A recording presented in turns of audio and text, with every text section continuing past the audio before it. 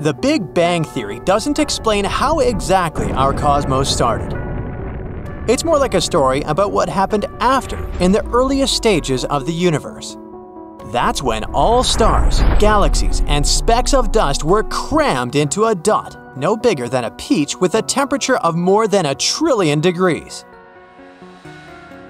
Our cosmos doesn't have an edge or outside. The Big Bang wasn't an explosion that happened at some particular point. It was the moment when space itself began to expand everywhere at the same time. That's a process we call inflation. When the cosmos was nearly a million times smaller than today, everything was just a plasma that later expanded, cooled, and then converted into a neutral gas. That was the time when the first atoms formed.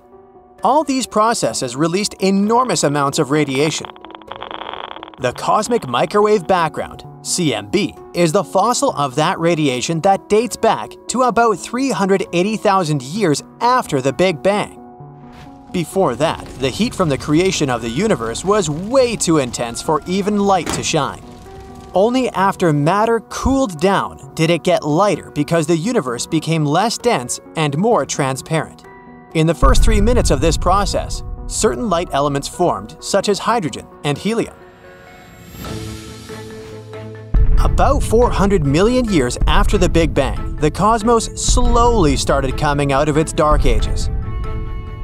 This period probably lasted over half a billion years.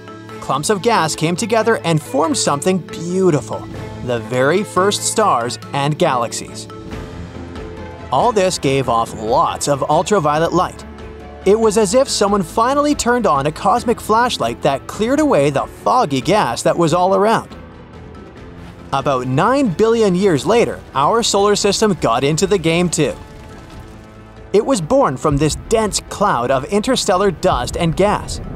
The cloud fell apart, possibly because of the shockwave produced by a star that exploded somewhere nearby in a spectacular supernova.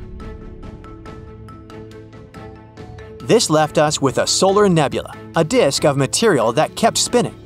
At its center, gravitational forces kept pulling more and more material in, at one moment, the pressure at the core became so great that hydrogen atoms started to mix and form helium.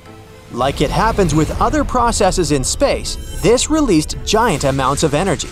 And ta-da, we got our star. So big that it makes up over 90% of all the matter in our solar system. The remaining matter from the disk had its own job to do. It probably started off as grains of dust even smaller than the width of your hair gravity and other forces made clumps smash into one another. They got bigger and bigger. Particles of dust eventually evolved into pebbles, and then, as this donut shaped disk of gas kept spinning, they turned into rocks. Meanwhile, the star pulled in nearby gas and pushed the rest of the material farther away. Those parts of the disk were far away from the sun, so water in those regions started to freeze. Soon, there were tiny pieces of ice flying around, gathering into dirty snowballs that became planetary cores. Since it was cold, gas molecules could slow down enough for a planet to draw them closer. That's how we got our famous gas giants Neptune, Uranus, Saturn, and Jupiter. Jupiter and Saturn probably formed first, maybe even within the first 10 million years of the existence of our solar system. Parts of the disk that were closer to the Sun remained warm. The material there gathered into rocky planets. After the icy giants appeared, not much gas was left for the other ones, though. So, Mercury, Venus, Earth, and Mars ended up a bit smaller. They may have taken tens of millions of years to form after the Sun was born, this is, of course, a very simplified version of how we got eight planets in our solar system. Who knows if we'll ever know the whole truth? Time went on. Space debris was swirling around. Some objects became large enough for their gravitational force to shape them into spheres. That's how we got dwarf planets and big moons. Our asteroid belt is the region that separates inner planets from outer ones. It's full of pieces and bits from the early solar system that never grew into something bigger. They just kept on floating around, maybe waiting for another chance. Other smaller leftovers turned into comets, meteoroids, asteroids, and small irregular moons. 4.5 billion years ago, something else arose from all that chaos. A planet almost as big as Mars collided with Earth. And the debris formed the only moon we have today, Somewhere around that time, the Sun also got to a new level. At its younger stages, it was just a ball of helium and hydrogen that still wasn't powered by fusion. Over millions of years, it got hotter and more pressurized, and finally turned into the shining star we know today. It's supposed to stay like this for a very, very long time around 10 billion years. Simulations scientists have made to understand the creation of the universe show that the chaos of that time was even bigger than we thought. Orbits of the giant planets probably shifted during that period too. The gravitational force from many objects in the Kuiper Belt shook Saturn and Jupiter into a 2-1 resonance. That means Jupiter made a circle around the Sun twice for every Saturn orbit. This brought the two giants closer together, which wasn't good for their surroundings.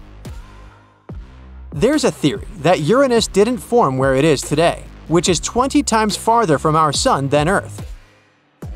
At this distance, there wasn't enough material to make the whole planet. That's why there's an idea that Uranus was born closer to the Sun before it got ejected farther away for some reason. Maybe that reason was the mess Jupiter and Saturn made. Some believe Neptune shares a similar destiny, together with the whole Kuiper Belt. As Uranus and Neptune were passing through the Kuiper Belt, they scattered most of the objects there. Any additional ice planets that had formed there also ended up kicked out, but in this case, entirely out of our solar system. Pieces of these scattered worlds that were located more outwardly stayed in the Kuiper Belt and the Oort cloud, a faraway sphere of ice bodies where the majority of comets come from. In all this chaos, the inner planets got hit. Scientists think that's how we got organics and water here on Earth. That's exactly what we needed for life to start developing, somewhere 3.8 to 3.5 billion years ago. We found evidence of microbes in the hard structures they made. Those are called stromatolites. They help us understand the earliest forms of life on Earth. Up until 3 billion years ago, Mars might have also been a good place for life. The red planet used to have a thick atmosphere and a strong magnetic field, just like Earth. But unlike our planet, Mars cooled from the inside, which switched off this whole mechanism. Without its magnetic field, nothing could protect the planet from the solar wind that pulled away most of its atmosphere in just a few hundred million years. Mars used to have magnificent lakes, rivers, and water streams that left traces we can see on its surface, even today. Luckily, Earth managed to keep its water, so life continued to evolve. 2.5 billion years ago, Earth got photosynthetic organisms that started pumping oxygen into the atmosphere and helped create the entire animal and plant kingdom across the planet. Another big thing happened in our solar system later, Saturn got its astonishing rings. No one knows for sure what happened back then, but a new theory says the rings aren't as old as the planet itself, only about 100 million years old. At the same time, something hit our moon and left Tycho crater, one of the most prominent craters on the lunar surface. Other planets couldn't avoid collisions either, including Earth. You already know what happened 66 million years ago a giant asteroid triggered changes in climate and erased three quarters of life, including dinosaurs.